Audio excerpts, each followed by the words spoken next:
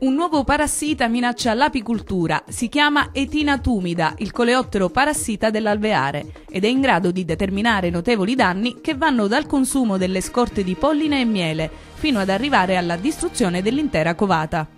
A darne notizia il Codacons Vallo di Diano con un comunicato a firma del responsabile settore agricoltura Salvatore Gasparro. Lo scorso 7 novembre il primo caso di etina tumida sul territorio nazionale è stato confermato dal Centro di Referenza Nazionale per l'apicoltura dell'Istituto Zooprofilattico Sperimentale delle Venezie. Etina tumida è in grado di volare per diversi chilometri, infestando aree di grandi proporzioni e quindi molto grandi sono i rischi connessi alla diffusione di questo coleottero sul territorio nazionale. Un allarme che riguarda anche la provincia salernitana. I dipartimenti di prevenzione veterinaria sono in allerta e sono state disposte severe misure di controllo e prevenzione. In primis la ricerca e il controllo a destino degli apiari che hanno effettuato attività di nomadismo durante il periodo primaverile estivo in regione Calabria poi il sequestro di mieli, favi e qualsiasi altro materiale veicolo di contagio in caso di rilevamento di adulti o stadi larvali negli alveari. Infine la distruzione degli apiari infestati e il contestuale trattamento del terreno circostante con sostanze antilarvali dopo aratura a 20 cm.